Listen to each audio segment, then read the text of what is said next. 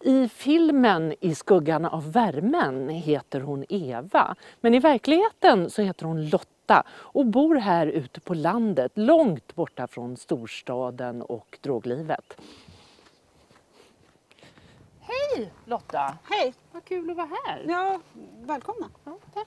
Du, ehm, du bor och jobbar här på Ja. gården. Hur många djur har du? Eh, jag, alltså jag har tre hundar och en dagishund, hon är inte här idag. Eh, och två hästar och sen ett gäng katter. Lotta Tell var ett försummat alkoholistbarn. Ja, kom, där ska ni få lite. Kom! Började med droger i 12-13 års åldern, höll på tills hon blev kär i en polis och han i henne. Det har tagit slut. Men en dotter och ett drogfritt liv sedan snart tio år är ett liv som är gott nog. Hur länge har du bott här på landet? Ja, här, ska jag säga, det blir sex år i sommar som jag har bott liksom här uppe. Och åtta år som, ja, sen jag flyttade liksom hit då. Det är en helt annan, det är ju långt ifrån storstan. Ja. Saknar du storstan ibland?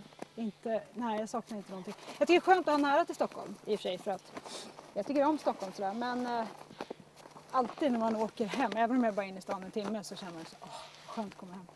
Jag tycker det är jätteskönt. Nu när det är filmpremiär och så, kommer du åka in på något sånt? Ja, premiären lär jag väl in på. Jag är rätt tråkig sådär annars. Alltså. Du tänker inte gå på fester och sånt? Nej, jag, jag är lite, nej alltså.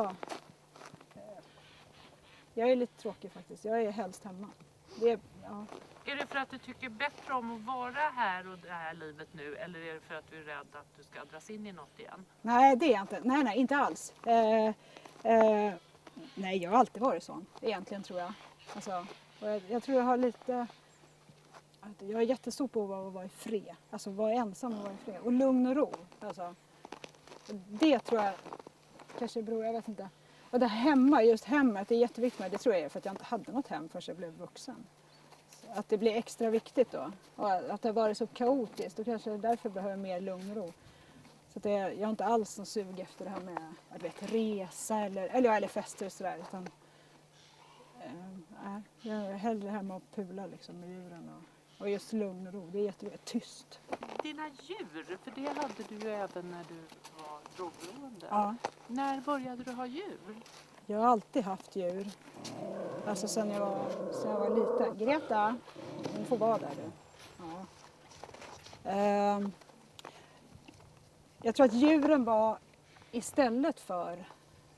Alltså djuren gav väl den där tryggheten som jag inte fick eh, hemma kanske. Jag vet inte, det, det har nog gjort att jag haft någonting alltså det har betytt väldigt mycket för att ha någonting att stå på resten av livet sen.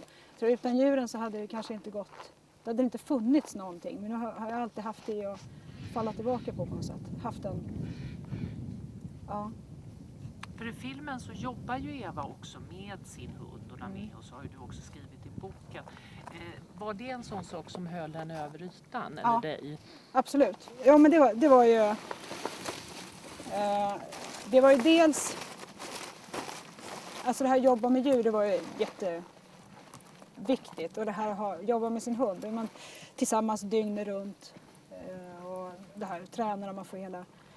Alltså dels får man den grejen då. Och sen var det lite det här också att börja jobba som väktare och hundförare. Det- är verkligen på andra sidan då. Då var man på rätt sida och ingen visste. Och, så att det var, fyllde flera funktioner det där. Eh, Men, men det, jag har nästan, eller jag har nog bara jobbat med djur. Alltså förutom när jag skrivit